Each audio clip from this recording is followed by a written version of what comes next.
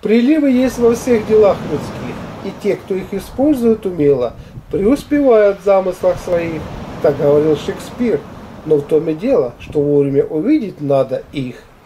И вот мы с вами поговорим, как увидеть эти знаки, чтобы преуспеть в жизни. 15 октября – День Киприана и Иустины. Киприан жил на территории Антиохии и обучился искусству колдовства. Ему помогал сам дьявол. Иустина была красавица-христианка. Некий юноша решил ее соблазнить и для этого обратился к Киприану. Киприан наслал на Иустину бесов соблазна, но они не помогли. Он посылал все более сильных, но и они ничего не сделали. Тогда Киприан разочаровался в колдовстве, отверг его, обратился к христианству и принял крещение. Устинию и Киприана в народе считают защитниками от темной силы, бесовской, колдунов, ведьм и прочего. И сегодня следует избавляться от всякой нечисти и наваждения. Вести себя надо осторожно, иначе могут напасть злые силы. Причем больше всего страдают от них пьяницы и богохульники. В народе верили, что демоны могут являться пьяным людям – и, подселившись, забрать их здоровье. Они же часто доводят человека до самоубийства, чтобы забрать их душу. Бесов винили в возникновении белой горячки. Бесы могут принимать различные обличия, как обычно с рогами и копытами, так и в образе различных животных способны принимать облик иноземцев, поляков, эфиопов, литовцев, монахов и воинов. Чтобы вселить бесов человека, колдун специальным образом заговаривает воду. Выпив заговоренную воду, человек портится, поражается бесовщиной. Говорят, что можно подселить беса через поцелуй, пищу, дыхание и даже прикосновение. Приметы. Знатоки природы поднимались утром на Куприяна и смотрели в окно. Если не выпал снег, то не будет его и до родительской субботы. Имелось в виду первое в ноябре. Если идет сегодня сильный дождь и ветер, зима будет холодной. Если сегодня начался листопад, скоро наступят холода. Кстати, в э, кукурузной крупе имеется золото, микроэлемент, который также нам необходим. Потом она желтенькая, да, это угу. говорит о том, что каротинчик, если так да. брать уже европейскую там диетологию, ну, вот с этих позиций. Ну, естественно, все будет работать нормальненько, да, желудок, кишечник. Да. А вот это как мы будем готовить? Что мы будем а, делать? Вот эти фрукты мы с вами будем готовить а, в отдельной кастрюльке в небольшом количестве воды. Нам нужно будет сейчас взять кастрюльку, налить в нее воды, а, разогреть Давайте. и добавить туда эти фрукты. Угу. Сколько? Буквально, Понимаю. может быть, ну, 2 сантиметра. А зачем их сделать вареными? Вот считается, что сырое более полезное.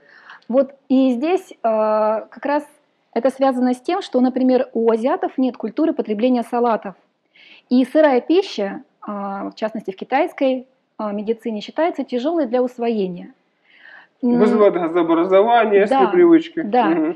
Особенно если, опять-таки, ослаблена селезенка. Если наш орган, который извлекает энергию из пищи, ослаблен, то мы не можем полноценно усваивать сырую пищу. Сырая пища может ее также охладить. Вот, вот хотел я как раз этот вопрос задать, а вы уже на него ответили. Дело в том, что сырая пища, особенно когда она принимается не по сезону года, допустим, зима холодно, и, естественно, чтобы согреться, что-то хочется горяченького mm-hmm. съесть. А мы будем съедать яблочко, которое вырастает, допустим, в августе и борется против жары, высушивающей жары, тем, что она э, охлаждает себя и напитана воды. То есть, и когда мы эти продукты будем вот использовать вне не по сезону года, угу. тем самым мы еще более привнесем холодную зиму холод внутрь нашего организма, и у нас получ, получится, что органы пищеварения, которые по сути, значит, угу. являются огненными, да. вот теплыми, они потеряют свои пищеварительные способности и перестанут работать должным образом и вырабатывать энергию. Да, Хорошо, смотрите, станет... что там у нас получается. Каша у нас готовится, с ней все в порядке. Угу, пускай, да? Да, пускай готовится. А мы пока поставим на огонь а, горя... воду для того, чтобы она разогрелась. Давайте. А вот интересный вопрос, Наташа, угу. а как понять, э, в каком состоянии у них селезенка и вообще вот органы пищеварения, главные органы пищеварения, желудок, там вот поджелудочная, с точки угу. зрения вот восточной э, медицины, китайской, и так, чтобы как-то понятно это было? Конечно, каждый человек, э, каждого человека нужно смотреть индивидуально, но существует ряд общих симптомов, которые могут быть оценены каждым из нас. Во-первых, это чувство такой усталости, вялости.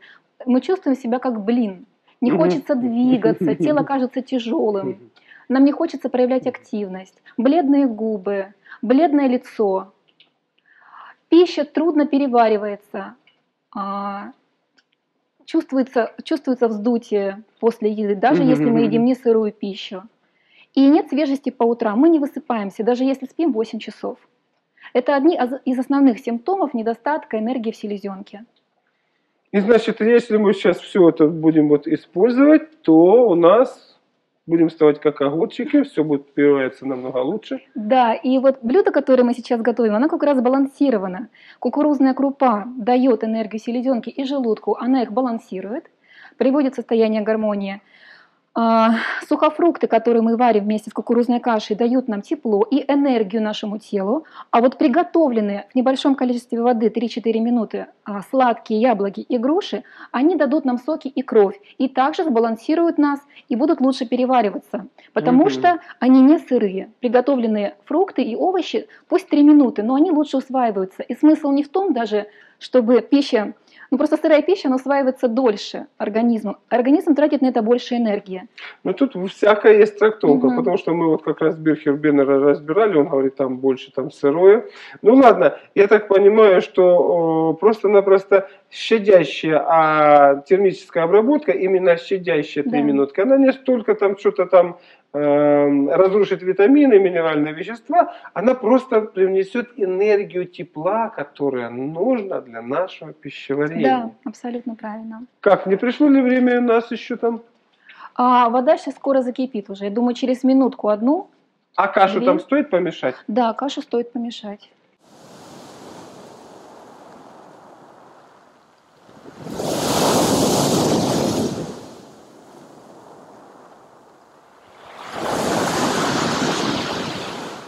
17 лунные сутки. Энергетика этих лунных суток способствует плодородию, произрастанию, накоплению, и поэтому ее связывают с женской энергией. Что касается энергетики организма, то сегодня активны почки и поясничная область. Сегодня можно пить почечные чаи, промывающие и укрепляющие почки. Так как день предрасполагает ко всему хорошему, что имеется в нашей жизни, то рекомендуется накрыть красивый вкусный стол и повеселиться. Из вин рекомендуется пить когор, который считается символом познания вечности. Что касается физической активности, то она должна быть большой и выполнена в виде танцевальных движений. Но это лучше всего.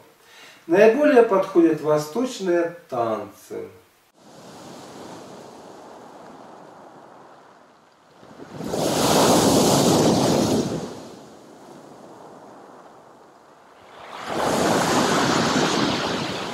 18 лунные сутки.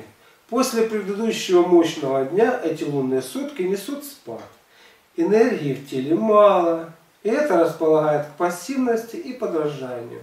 Замечено, что наш внутренний мир проявляется через отношение к миру внешнему. И если мы испытываем зависть, огорчение и другие негативные эмоции – Виноваты в этом мы сами, а не окружающие. Осознание этого отражения – прекрасный повод для работы над собой. Энергия сейчас располагается в области половых желез, мочевого пузыря и прямой кишки. Это удачное время для выполнения очистительных клизм, особенно если имеется высыпание на коже. Что касается питания, то сегодня воздержитесь от соленой пищи. Двигательная активность нормальная. Благодарю за просмотр. Если вам понравилось видео, ставьте лайк, звоните в колокольчик и подпишитесь на канал. Ваше участие развивает канал и способствует его продвижению. Вы можете посетить бесплатно мою авторскую библиотеку на сайте Малахов Про. Доброго здоровья и до новых встреч!